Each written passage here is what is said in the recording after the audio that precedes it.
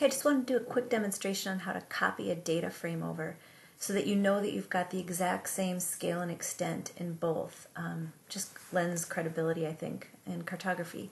So for example, let's say we wanted to have a side-by-side -side comparison of um, the section of Cache County um, showing in one data frame the locations where air quality is being monitored and in another data frame parks really realistic. The first thing you want to do is get um, one data frame set up on the page so that you could duplicate it. And so that's my halfway mark is right here. I'm just going to go to the left of it to give myself a little bit of room. And then I'm going to try and zoom in so that I can see both data sets. Um, and notice I've got both data sets in the table of contents here. This isn't going to work out really well, but that's okay.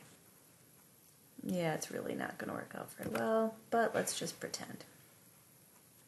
All right, so let's say, you know what, if we make this a little bit wider, we can fit it in. So uh, what I'm trying to do here is just fudge this a little bit so that we can fit two data frames and get the width of this and that. Okay, so I'm trying to make it so that we can see this guy and this guy. And I think we're in good shape. All right, so we've got this set up. And then the part you can't see is that I'm just going to press the control key. I'm going to grab this guy.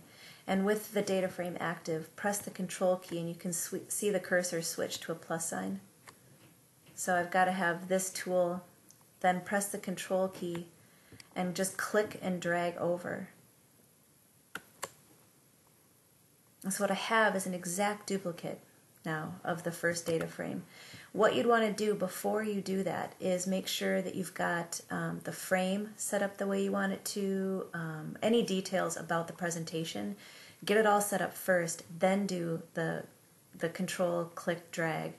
Um, now you don't want to fudge with the uh, scale or extent. You don't want to pan or zoom either one of these because um, then you have to start all over again.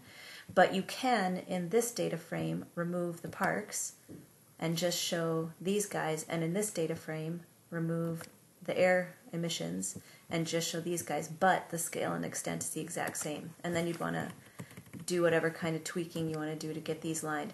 Um, somebody did point out on the discussion board that um, you can control, shift, click both of them, and then right click for the alignment. Oh, that's hanging off. Hang on. There we go. Align, and then you can align them on the top and get them just right. Um, you can also click and drag to add um, guides here if that helps in any way. Um, so that's it. Questions, let me know. Thanks.